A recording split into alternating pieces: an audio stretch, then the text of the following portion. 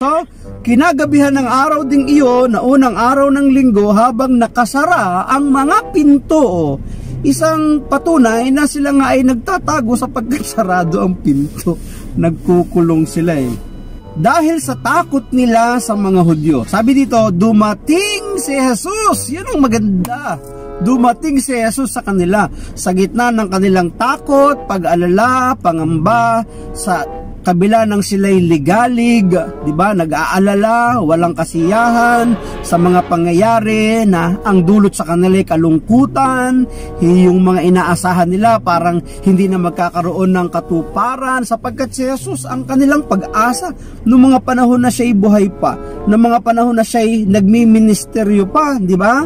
So, dumating si Jesus. Ito ang ating tatandaan. Sa gitna ng ating sipahayo, kalungkutan, kawalan ng pag-asa, pag malaking pagsubok at problema sa buhay, kung sa tingin mo'y nalulugmo ka na, ito ang magandang balita. Darating si Jesus sa ating kalagitnaan. Darating si Jesus sa ating buhay. E ano naman ang kanyang gagawin sa kanyang pagdating sa ating buhay? Ay asahan mo na, meron kang malaking kasagutan. Meron tayong malaking kasagutan. Meron tayong malaking pag-asa meron tayong malaking biyaya. Kaya nga, kahit na tayo nangihina ng lulupaypay, huwag tayong bibitaw sa Kanya, huwag tayong lalayo, huwag tayong aalis, patuloy tayong umasa. So, Hi mga kapatid, mabuhay po. Magpapagpalang gabi po o hapon po sa ating lahat. Ako po si Jean Bautista, psychologist at your service. So, ini-encourage ko po kayong lahat mga kapatid na i-follow niyo po at i-subscribe si Brother Jerry Eloma, yung kanya pong channel.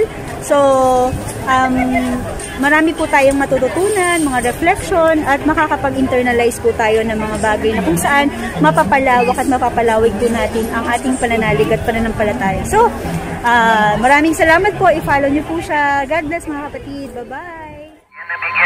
Maraming salamat sa inyong panonood at kung kayo napagpala ng video, huwag nyo naman kalimutan ng mag-like, mag-subscribe, kalimbangin ang bell, at ibahagi na rin ang video na inyo pong napanood. Salamat! God bless! We love you with the love